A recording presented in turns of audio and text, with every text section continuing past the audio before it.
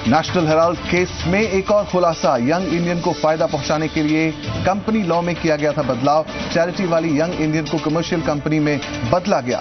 UPA to के कार्यकाल में हुआ घोटाला, अंग्रेज़ी अखबार के हवाले से खबर।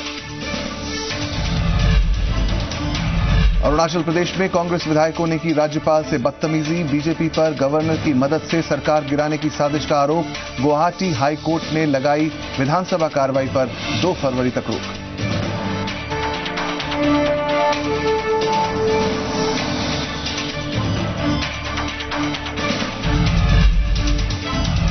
प्राइवेट कोचिंग सेंटर्स के खिलाफ संसद में उठा मुद्दा। फ़िल्म एक्टर और बीजेपी सांसद परेश रावल ने कोचिंग सेंटर्स को बताया एजुकेशन टेररिज्म। सरकार से पूछा, स्कूल के लिए लाइसेंस तो फिर कोचिंग के लिए क्यों नहीं? चाहिए। मुझे लगता है, डर लगता है कि ये ऑर्गेनाइज माफिया भी नहीं है। ये टेररिज्म के ऊपर है, एजुकेशनल टेररिज्म है।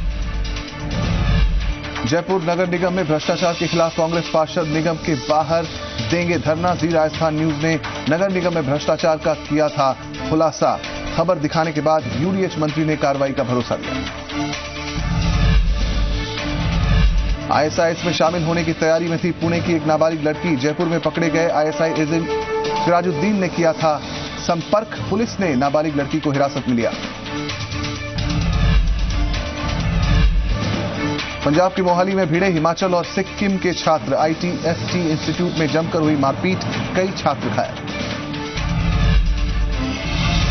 जयपुर में आठ साल के मासूम का अपहरण के बाद हत्या। त्रिमूर्ति अपार्टमेंट के पास बच्चे का शव मिला, पुलिस ने कुकर्म के बाद हत्या की आशंका जताई। जोधपुर में फ़िल्म दिलवाले का विरोध, शाहरुख के बयानों को लेकर शिवसेना ने किया विरोध। जोधपुर में शाहरुख की फ़िल्म नहीं चलने देने की दी धमकी। पुणे में फ़िल्म बाजीराव मस्तानी का विरोध। सिटी प्राइड थिएटर में कैंसिल हुए तीन शो। बीजेपी कार्यकर्ता कर रहे हैं फ़िल्म का विरोध। इतिहास से छेड़छाड़ का आरोप। राजस्थान न्यूज़ ने किया हॉस्पिटैलिटी एंड फ़ूड सेक्टर की शख्सियतों का सम्मान। समारोह में अरुण चतुर्वेदी रहे। चीफ गेस्ट राजकुमारी दिया रही गेस्ट ऑफ़ ऑनर